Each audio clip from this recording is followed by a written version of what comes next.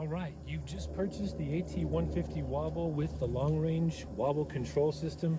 This is an incredible setup with so many cool features. We're going to demonstrate it real quickly here for you.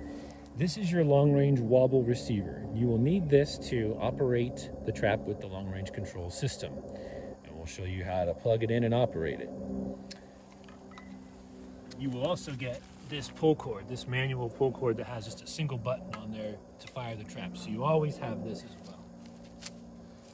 To plug this in, it's a six pin connector. So you actually have to see where you are connecting the pins. There's a little slot here to make sure that lines up.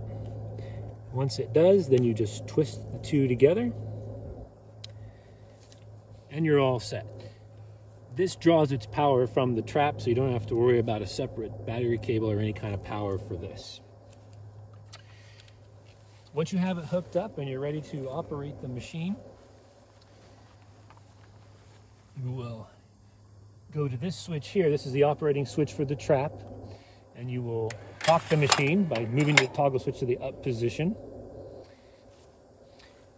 And if you turn your long range transmitter on, you basically have yourself a wireless transmitter here.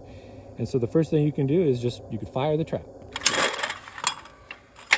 And the trap will reset itself, ready to go again, and fire the trap. So that's the most basic feature is just being able to fire it.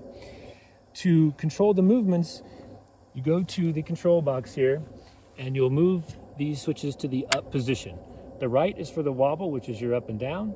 The left is for the oscillator, which is your right to left on your controller, you've got several different features. Um, we'll start with the middle, the nudge feature. That just nudges the trap a little bit, either right to left or up and down. So if we want to move it right to left, you just bump this button and I can reposition it. So if I just want to practice a hard left shot, I can move it all the way there and then fire off play.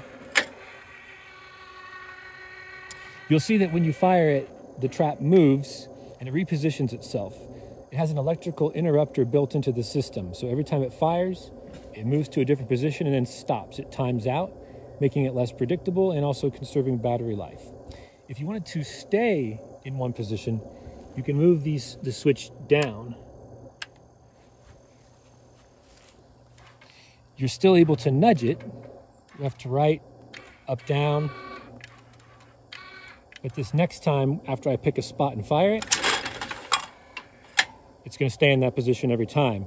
So now I wanna nudge it and throw a real high arcing shot, but I want it to stay there, fire it, and it'll just stay there as long as I wanna shoot that particular target. The next feature is the on off. If you want to bypass the interrupter to where it does not time out, you can just hit one of these buttons, up, down, or left, right. And you can see the trap is constantly moving and it does not stop. So I can fire it and it just keeps on moving. You can see the range of this machine and the cycle time and get targets all over the sky. So in that feature, it doesn't time out, it just keeps moving. And then all you gotta do is just want to turn those off, press up and down, press right to left, and then, then you can stop it.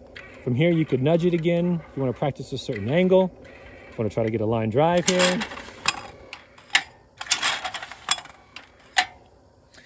Another feature of this is the flush. There's a single person or a two person flush.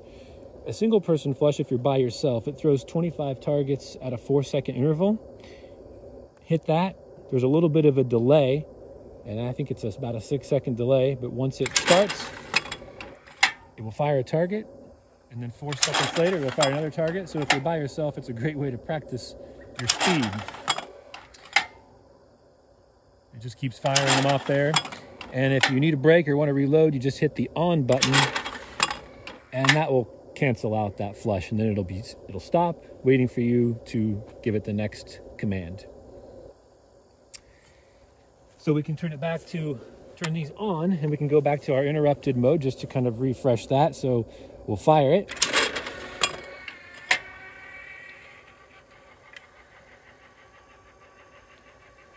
And this time you see it, it times out because these switches are up and we're back on our electrical timer that's built into our control box. Uh, now we'd like to show you how to safely decock the trap when you're finished for the day. On our control box, you have the three position operating switch. Earlier, we just moved it up to cock it. The middle or neutral position is a kill switch, so it takes power away from it. So now if I tried to say fire the machine, it won't work. I'm in the middle or the neutral. To decock it, I push this switch down. It's momentary, it will spring back up to neutral. It fires off the last point. It does kick on the timer because it sent a signal, but now you can see the throwing arm off to the side, so you know that the trap is semi-decocked there. At that point then, you could load more clays or move the machine or store it. You want to leave that arm decocked when you store the machine for, for safety. So that's your long-range wobble system with the AT150 wobble trap. You've got your pull cord if you need anything else. To, uh, to end here, we're going to fire off a bunch of clays here for you. I'll cock